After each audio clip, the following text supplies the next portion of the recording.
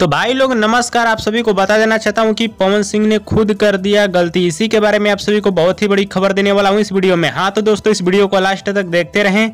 और जो लोग मेरे चैनल को भी तो सब्सक्राइब नहीं किए हैं, वो लोग कर लें, क्योंकि हमारे चैनल पर भोजपुरी का हर खबर सबसे पहले आता है। जैसे की आप सभी को पता ही होगा, भोजपुरी के पावर स्टार पवन सिंह का एक बहुत ही ज़बरदस्त और कमाल का वीडियो गाना आप सभी के बीच आ चुका है, ग्लोबल म्यूज़िक जंक्शन के यूट्यूब चैनल पे, जिस गाने का नाम है घाव दे दे बे इस गाने को गाए हैं भोजपुरी के पावर स्टार पवन सिंह और शिल्पी राय ने। ये गाना बहुत ही कमाल का और ज़बरदस्त वीडियो गाना है, जो कि भोजपुरी दर्शकों को काफ़ी ज़्यादा पसंद भी आ रहा है। लेकिन गाना रिलीज़ होने से पहले ही पवन सिंह ने कर दिए हैं गलती। पवन सिंह ऑफिशियल के यूट्यूब चैनल पे इसका आइडियो गाना अपलोड कर दिए हैं। और पवन सिंह ही नहीं, बहुत लोगों ने इसका आइडियो गाना अपलोड कर दिए हैं यूट्यूब पे। और ये गाना वायरल नहीं हुआ है, लोग वेबसाइट पर से लाकर अपलोड कर दिए हैं यूट्यूब पे। और कोई कोई गाना वेबसाइट पे पहले आ जाता है। और पवन सिंह का जो ओरिजिनल वाला गाना आया है उस पे इफ़ेक्ट पड़ सकता है। क्योंकि पहले ही वायरल हो चुका है तो थोड़ा इफ़ेक्ट ज़रूर पड़ेगा। यानी रिलीज़ होने से पहले ही पचास हज़ार से ज़्यादा लोग इस गाने को सुन चुके हैं। हाँ तो दोस्तों अभी वाला जो पवन सिंह का गाना रिलीज़ हुआ है आप सभी को कैसा लगा हमें नीचे कमेंट बॉक्स में ज़रूर बताइएगा। और बात की जाए भोजपुरी के पावर स्टार पवन सिंह का ये गाना ट्रेंडिंग में जाएगा या नहीं जाएगा? तो दोस्तों आप सभी को बता देना चाहता हूँ ये गाना ट्रेंडिंग में नहीं जाएगा। हाँ तो दोस्तों अपडेट था आप सभी को कैसा लगा हमें नीचे कमेंट बॉक्स में ज़रूर बताइएगा। और दोस्तों भोजपुरी के पावर स्टार पवन सिंह का वीडियो पसंद है तो ज़्यादा लाइक करे कमेंट करे